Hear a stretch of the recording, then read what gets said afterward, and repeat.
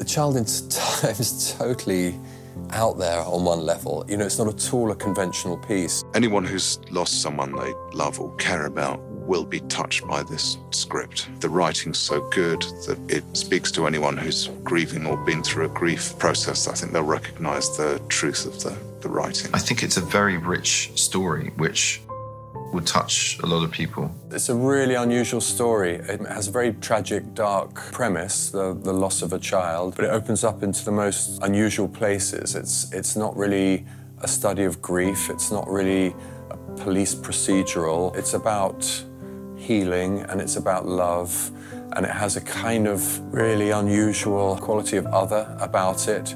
Stephen's adaptation is both really faithful to the novel in that regard. It embraces those elements, and then it makes it a very screen-worthy version in that it has a sort of emotional through line. I know that she's out there. I have no idea where or where to begin looking. It's hard to accept that we're helpless, but we are. And all we can do is be here ready and sane. To get a chance to do an adaptation of an Ian McEwan book is like discovering treasure. I'd read the book probably about 25 years previously, and it stays with you. It, it, it's a book that just stays with you. It's, it's just got an incredible depth, incredible tone.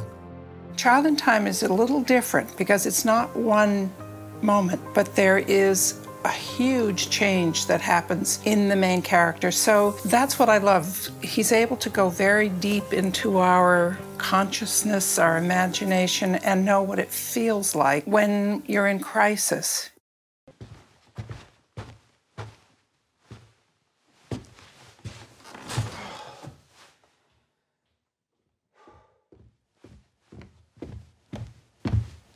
What is it you want? You want me to give up? Yes. I want you to give up. Because you always let me down. You never bring her home. And you're drinking too much. I'm supposed to drink too much. I can't live here anymore!